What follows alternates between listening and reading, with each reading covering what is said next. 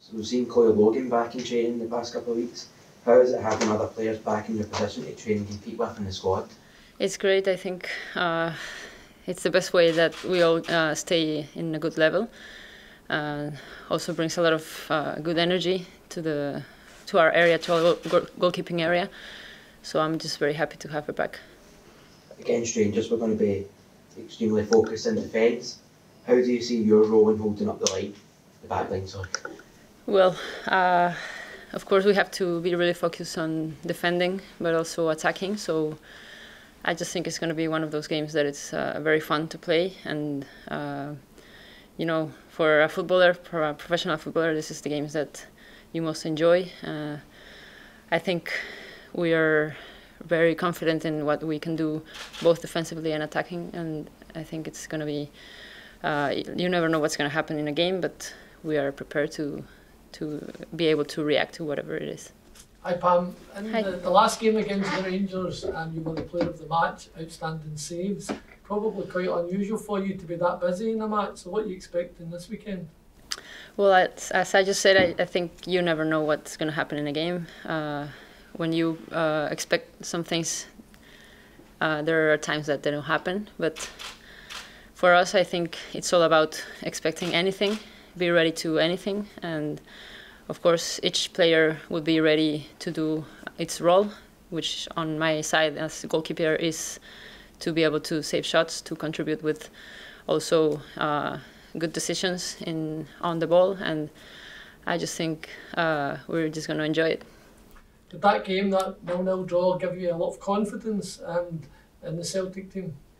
Yes, it did because uh, it was one of the games that you get tested as a goalkeeper, and uh, I was just uh, happy to to be able to be there at the right moment and the the, the right uh, positioning.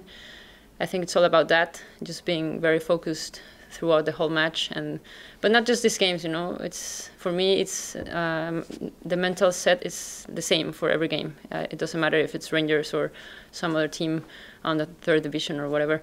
So that that way you can get to those games prepared. You know, better prepared. We had a little break because there was no game at the weekend. You had three games before that, and now we're going into a run of three games, two of which are against our top rivals um, for the league. And what's the mood in the camp as you're preparing for these games? Well, I, this is uh, how football is. You, sometimes you get the a lot of games in the same couple weeks. Uh, sometimes you get the breaks.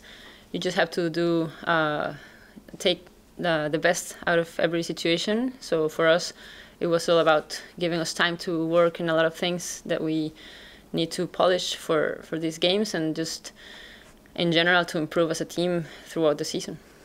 You've had a brilliant career, but how much would it mean to you to be a champion in Scotland? that would be uh, one of the best things. I think for me, it's always about being uh, very, um, you know, uh, I don't have the word, but you know, to, to have your objectives as high as you can. If you don't get it, then next time. But uh, for me, it's very important that we end up the season uh, as a good team as we think we are, and with the results uh, uh, on our side also. So that would be great.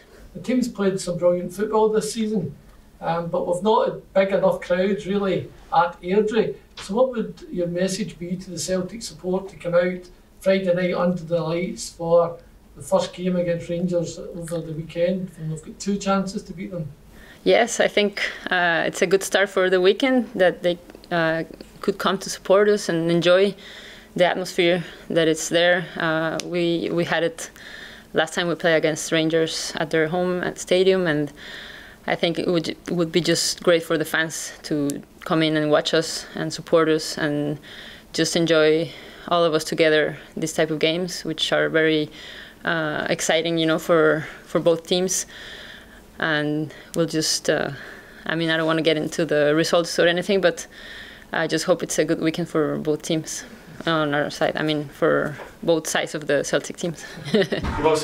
as a goalkeeper, yeah. part of the, one of the best defensive backlines yeah, How enjoyable has that been? Oh yeah, not just the backline, the whole team defensively. I think it's uh, it's been an, a huge work uh, each game. So it's not about defending on the last side of the pitch or on the goal or on our line defensive line.